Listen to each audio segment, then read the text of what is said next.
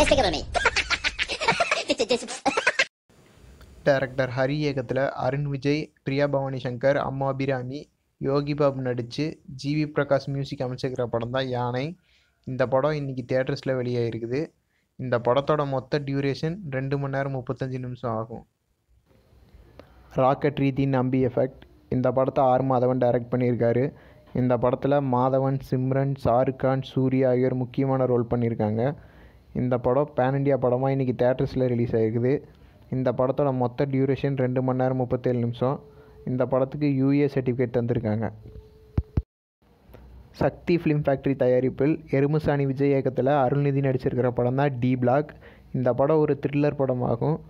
இந்த படத்தோட மொத்த டியூரேஷன் ரெண்டு மணி நேரம் பதிமூணு நிமிஷம். இந்த படம் தான் எருமுசாணி விஜய்க்கு ஃபஸ்ட்டு டேரக்ஷன் டெபுட் படமாகும். எலிமினேஷன் தயாரிப்பில் அனிமேஷன் படமாக உருவாகிற படம் தான் வந்து Minions the rise of Gru இந்த படம் இன்றைக்கி தேட்டர்ஸில் வெளியாக இருக்குது இந்த படம் வந்து ரெண்டாயிரத்தி பதினஞ்சாவது வருஷம் வந்த மினியன்ஸ் படத்தோட பார்ட் டூ ஆகும்.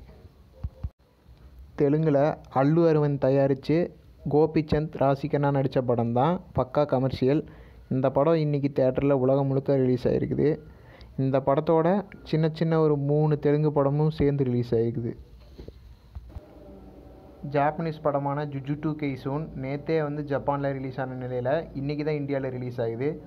இந்த படத்துக்கு கூட இந்தியாவில் மக்கள் மத்தியில் கொஞ்சம் எதிர்பார்ப்பு இருக்குன்னு கூட சொல்லலாம். இது போக இன்னும் சில படங்கள் வந்து ஓடிடியில் ரிலீஸ் ஆகிடுது அதை இன்னொரு வீடியோவில் பார்க்கலாம்.